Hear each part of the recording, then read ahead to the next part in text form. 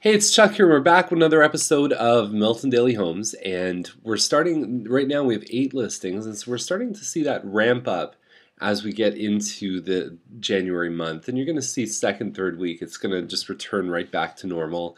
Buyer activity again, same pattern as it starts to ramp back up again. And uh, just before we get started, if you haven't gone to miltonbuyerclass.com to register for Saturday's class, I'd encourage you to do so. Um, it doesn't matter.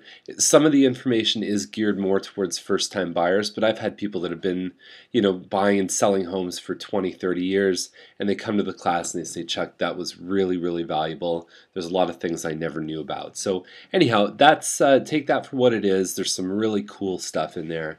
And let's get right to today's list. There's eight properties, 16 Main Street North, 329 777, and this one here, 64 by 161 foot lot, and it's basically land value because the house itself isn't very exceptional inside.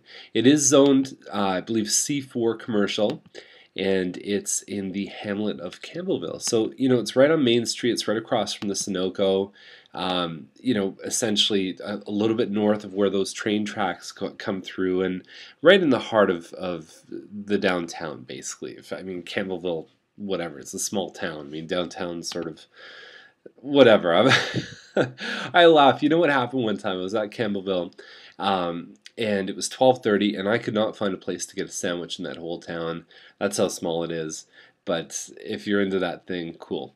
Uh, 908 Thompson is at 339.9, and it's Thompson Road South. I mean, Thompson's on a busier street. They're on, so Thompson comes across, and then you've got these little outcroppings, these little mini crescents that come off of Thompson. So they're actually pretty quiet. The kids can play basketball there, and or hockey or anything, and there's not many cars that go. But the noise factor, I mean, Thompson four lane road, and it's nonstop.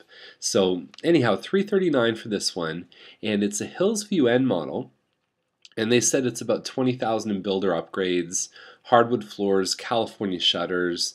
So they've done some really nice stuff, larger basement windows. The model itself is very good. There's laundry on the second floor. And I think that really a hills view with some some nice features. We're talking well into the sort of 350 range. So at 339 on Thompson, I think they've they've accommodated for that. Obviously, it depends on colors and, and finishes and things, but I think they've done a pretty good job just at first glance without photos. Now, Costigan 1407 Costigan's the next one, 339.9, and this one's a townhouse. It's a three bedroom, three washroom. And when you read the description here, it doesn't really have a square footage. You do have a kitchen, breakfast, and essentially one big living room. So it's probably it's less than 1500 square feet. It's maybe, you know, 13, 14, something in that range. Now, I'm not thrilled at that. It does have granite countertops. There, there's some hardwood in that main area. But the problem I have with this one mostly is that when you look at, and Google is not always right on street addresses. If you type in 1407 Costigan, it shows it way on the south end, um, further down here. Actually, I'll show you where it popped up for me.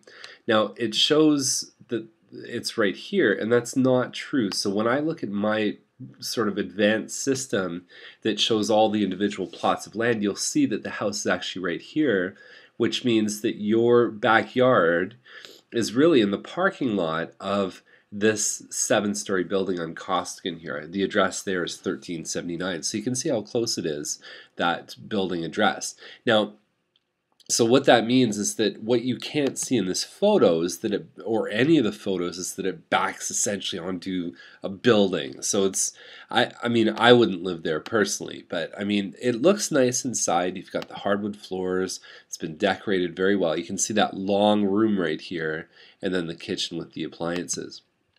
So, I mean, it's good, right? I mean, you see the countertops here, the undermount sink and I don't know. I just it's I'm not thrilled with this one.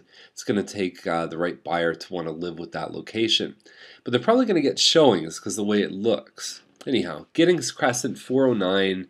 It is an all brick detached home.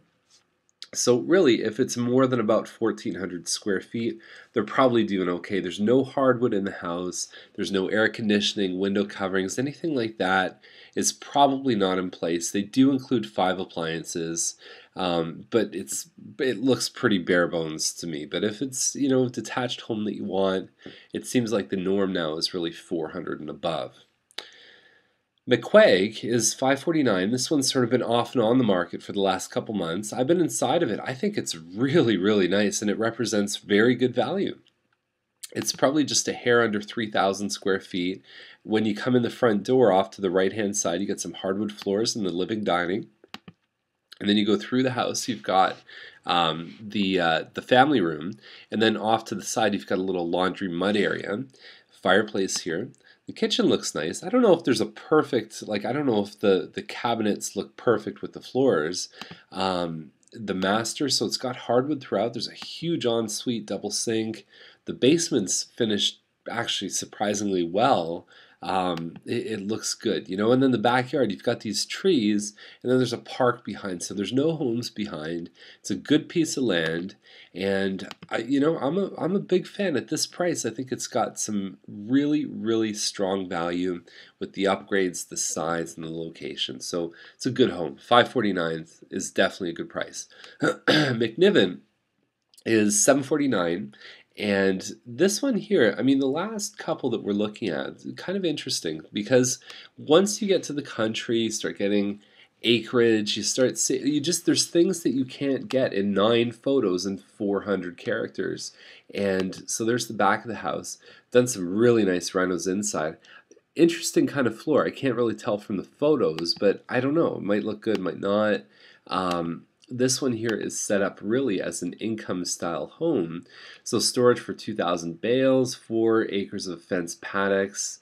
Um, I mean, read the description here. They've short formed almost every word because you can only fit so much in this description.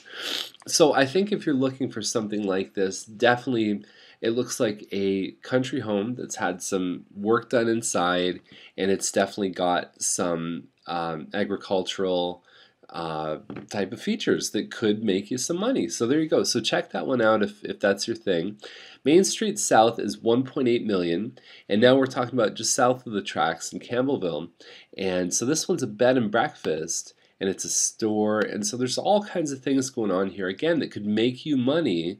But if you're looking at it for an end use purpose, if if you want to live in this home, then you'll have to analyze like what are the upgrades? What's you know what's the real value of it? So there's all kinds of angles to look at what something's worth how much money it'll give back to you, how much money they put into it, how much it would cost to replace the thing if you ever had to. So there's there's about three or four angles to look at things. And I think that this one, I mean, it's been featured in magazines. It's it's looks absolutely gorgeous. I've never been inside. Um, so check that one out. It's on a, um, I think it's how how much is it? Half an acre is what it's on. Now, 25 Side Road is the last one, and it's 1.999 million. It's 2 million bucks, and uh, you know, 25 in Guelph Line.